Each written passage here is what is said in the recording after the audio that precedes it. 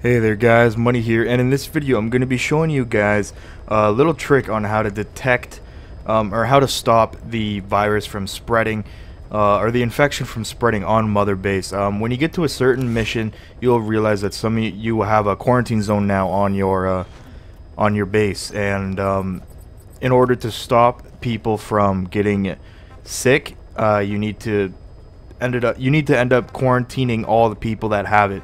Now, if you look through your quarantine list, the only thing that each one of them have in common, if you look under languages, each one has the Kikongo language that they can speak.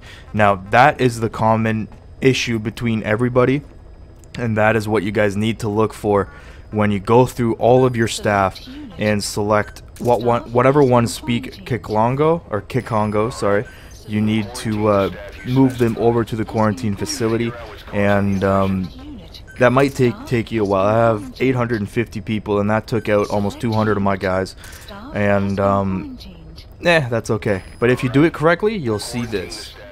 Thanks to you, the number of new victims has plummeted.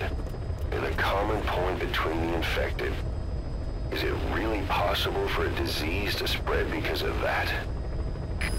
And it's as simple as that, really. Um, after you guys quarantine everybody, make sure you only do the story mode missions until you find uh, the code talker, I believe he is called, and that will uh, trigger all the quarantine victims to beat the disease.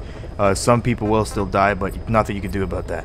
I uh, hope you guys enjoy this video. If you do, please leave a like and subscribe, and I'll see you guys in the next one. Peace.